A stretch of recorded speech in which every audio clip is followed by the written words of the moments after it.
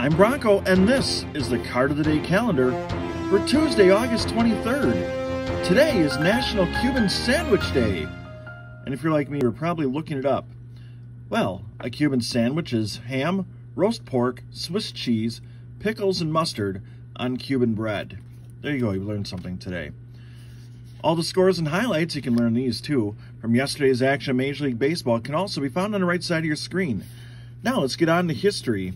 On this day in 1985, Joaquin Andujar earns his 20th win of the season, becoming the first pitcher to accomplish this feat that year, as the St. Louis Cardinals defeat Atlanta 6-2. It's his second consecutive 20-win season, which makes him the first National League pitcher to do that since Joe Niekro won 20 games in 1979 and 1980.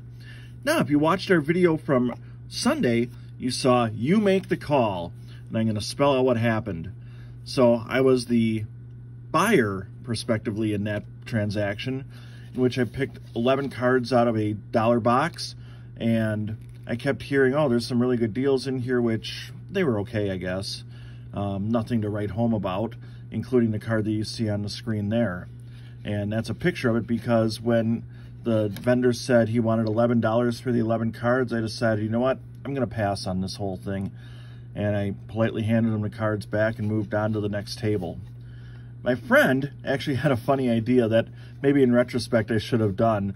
He said, what you should have done is paid with a $100 bill and kind of inconvenienced him to give you extra change, which I guess is funny, but anyway, so that was the transaction. I kind of assumed that when I picked the 11th card out and I was counting, like, oh, I got 11 here, I'll offer him 10. I'm sure he'll do it. He didn't and he's well within his rights to ask whatever price he wanted and I just didn't feel like paying the extra dollar is what it boiled down to. So thanks for all of you that left a comment and played along. It was kind of interesting to see the various comments on the situation and maybe we'll do another one of these at some point down the road. Now, birthdays in Major League Baseball. Mike Boddicker turned 65.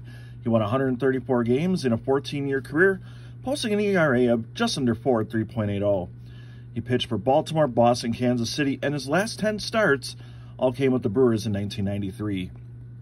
Julio Franco turned 64 today.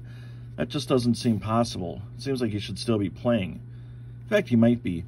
Anyway, he had 2,586 hits in a great 23-year career, finishing with a 298 batting average and 173 homers, and kind of forget about this aspect of his game, 281 stolen bases. He played five years with three different teams and eight clubs in all. And yesterday it was Carl. Today it's Mike Yastrzemski. He's turning 32 today. This year with San Francisco, he's batting 208 with 12 homers and 44 RBIs. Don't forget, in 2020, he was eighth in the National League MVP voting.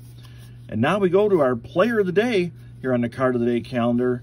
And we're on 1980 Donruss month, and we've got the great Bo Jackson.